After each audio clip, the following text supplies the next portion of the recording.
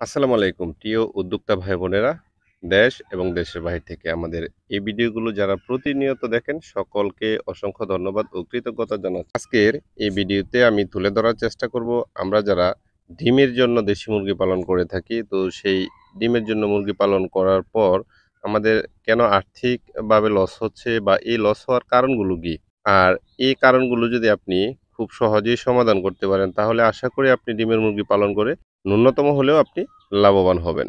তো আশা করি ভিডিওটি স্কিপ না করে শেষ পর্যন্ত দেখবেন এবং ভিডিওগুলো ভালো লাগলে অবশ্যই আমাদের চ্যানেলটি সাবস্ক্রাইব করে আমাদের সাথে যুক্ত হয়ে থাকবেন। তো প্রথমত বলি, আমরা যারা দেশি মুরগি ডিমের জন্য পালন করে থাকি, বর্তমান সময়ে মুরগি পালন বা পোলট্রি সেক্টরটা অনেক ঝুঁকির সম্মুখীন। কেননা, আমরা পূর্বে ডিমের মুরগির জন্য যে রেডি ফিড বা রেডি খাবার যেটা ছিল, সেটা সতেরোশো টাকা। মোটামুটি আমরা বত্রিশ টাকা কেজিতে আমরা কিনতে পারতাম। আর বর্তমান সময়ে সেটা আঠাশশো উনত্রিশশো টাকা বা তিন হাজার টাকা হয়ে গেছে মোটামুটি। আপনার আটান্ন থেকে ষাট টাকা পার কেজি খাবারের দাম। তো আপনি যদি বীজ ডিম হিসেবে ডিম বিক্রি করে থাকেন, তাহলেও দেখা যায় কি পনেরো থেকে ষোলো টাকা পার পিস ডিম বিক্রি করা যায় এবং খাওয়ার জন্য যদি আপনি ডিম বিক্রি করেন সেক্ষেত্রে আপনার বারো থেকে চোদ্দ টাকা বা এরকম বিভিন্ন জায়গা বেঁধে দেশি মুরগির ডিমের দাম এরকম হয়ে থাকে।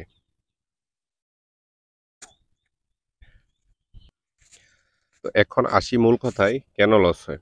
আমরা যারা ডিমের জন্য দেশি মুরগি পালন করে থাকি, একটা কথা আপনারা জানেন যে দেশি মুরগি কিন্তু আশি গ্রাম খাবার খায় বা এটা বৈজ্ঞানিকভাবে বা পোলট্রি সেক্টরে এটা একটা নির্দিষ্ট পরিমাণ খাবারের তালিকা বা খাবারের পরিমাণ। আমরা এখানে কিন্তু আমাদের মুরগিগুলোকে কখনোই খাবার ওজন বা মেপে দেই না। মুরগি যতটুকু পরিমাণ খাচ্ছে বা তার খাবার যতক্ষণ চলমান, আমরা ঠিক ততক্ষণই তাদেরকে খাবার দিই।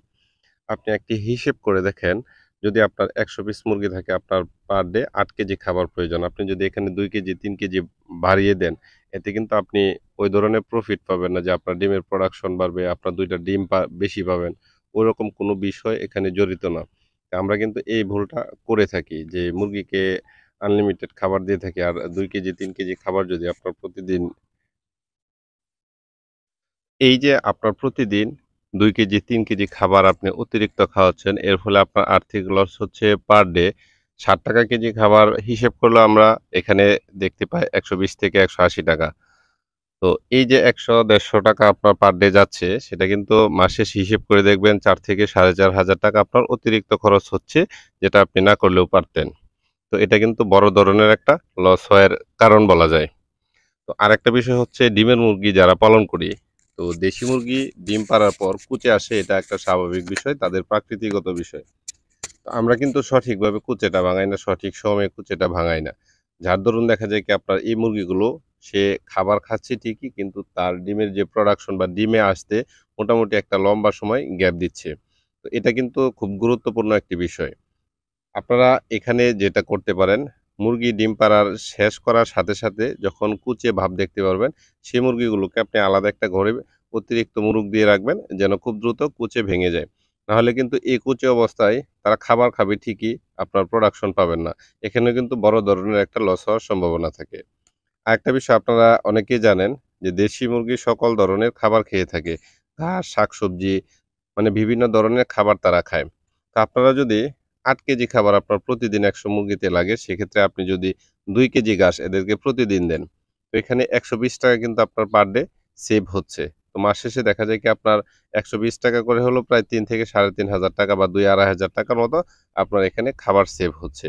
তো এতে করে আপনার কিন্তু প্রফিটের সম্ভাবনাটা বেড়ে যাবে।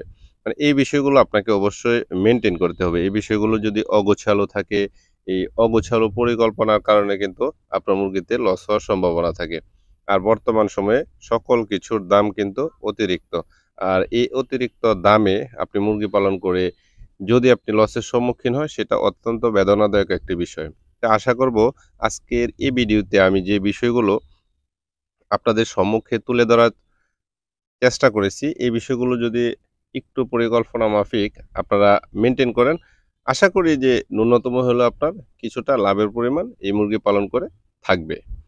তো ভিডিওটি শেষ পর্যন্ত দেখার জন্য আপনাদেরকে অসংখ্য ধন্যবাদ। ইনশাল্লাহ এরকম আরও কিছু ভিডিও নিয়ে আপনাদের সামনে খুব দ্রুতই আবার আসব। সে পর্যন্ত আপনারা সকলে ভালো থাকুন, সুস্থ থাকুন।